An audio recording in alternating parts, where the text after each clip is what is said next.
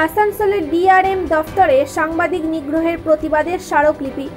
উল্লেখ্য, গত মঙ্গলবার আসানসোল স্টেশন থেকে বোকারো যাওয়ার উদ্দেশ্যে থাকা রেলগাড়ির দুটি চাকা ডি রেল হয়ে যায়। এই খবর সংগ্রহ করতে গিয়ে রেলের সুরক্ষা বাহিনীর হাতে নিগৃহীত হয় সন্তোষ মণ্ডল নামে এক সাংবাদিক। এরই প্রতিবাদে বুধবার আসানসোলের ডিআরএম দপ্তরে আসানসোলের সাংবাদিকদের পক্ষ থেকে সম্মিলিতভাবে এক স্মারকলিপি তুলে দেওয়া হয়। পাশাপাশি সাংবাদিকদের পক্ষ থেকে রেলের ডিভিশনাল সুরক্ষা ইনচার্জ চন্দ্রমোহন মিশ্রর সাথেও সাক্ষাৎ করা হয়। তিনি বিষয়টির গুরুত্ব সহকারে বিভাগীয় তদন্তের নির্দেশ দিয়েছেন। একই সাথে এই ঘটনায় যাতে পুনরাবৃত্তি না হয়, তার জন্য তিনি ব্যবস্থা গ্রহণ করবেন বলেও জানিয়েছেন। আসানসোল স্টেশনের আপ লাইনে বোকারো এক্সপ্রেসের বোকারো প্যাসেঞ্জারের একটা ডিরেলমেন্ট ছিল। সেই ডিরেলমেন্টের খবর করতে গিয়েছিল প্রচুর সাংবাদিক এবং বেশ কিছু ক্যামেরাম্যান।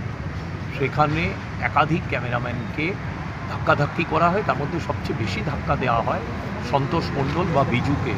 এবং বিজুকে এতটাই ধাক্কা দিয়ে প্রায় ও পড়ে যাচ্ছিল, তার পাশে হায়দার বলে একজন সাংবাদিক ছিল বলে সে তাকে কোনো মতে ধরে নিয়েছে।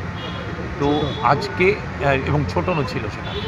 আজকে এই ঘটনার পর যে এর আগেও একাধিকবার এরকম হয়েছে বিজুর সাথে রেলে, তো সেটাই আজকে ডিআরএম এর কাছে ডেপুটেশন দেওয়া হলো এবং সিনিয়র ডিভিশনাল সিকিউরিটি কমিশনের কাছে ডেপুটেশন দেওয়া হলো।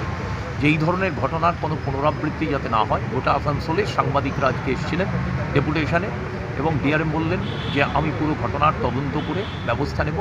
Senior divisional security commissioner Chandramohan Mishra তার কাছেও লিখিত ডেপুটেশন দেওয়ার পরে তিনি বলেছেন যে আমি পুরো বিষয়টা বিভাগীয়ভাবে তদন্ত করব এবং যা ব্যবস্থা নেওয়ার নেব।